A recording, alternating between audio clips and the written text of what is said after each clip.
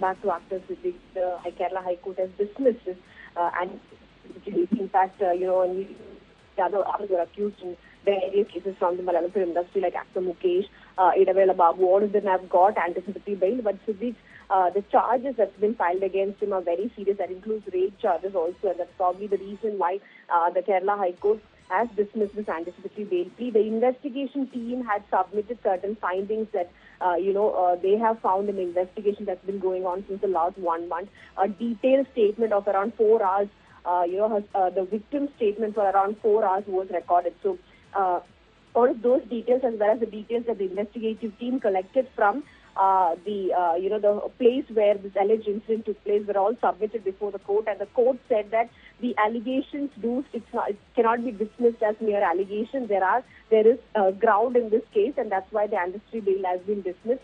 Uh, he argued in the petition, the anticipatory bail petition, that uh, you know these are baseless allegations. This is a very uh, planned conspiracy, is what he said. Uh, there are certain uh, part of her uh, allegations that he uh, include uh, you know, meeting her in the hotel, but he went on to argue in the court that uh, he met her along with with her parents. So her parents were full time there with her. So uh, the allegations are baseless. There's nothing like rape that took place, is what. Uh, uh, the uh, actor argued in the High Court, but uh, the investigative team's uh, findings, uh, and that's why uh, that's correct.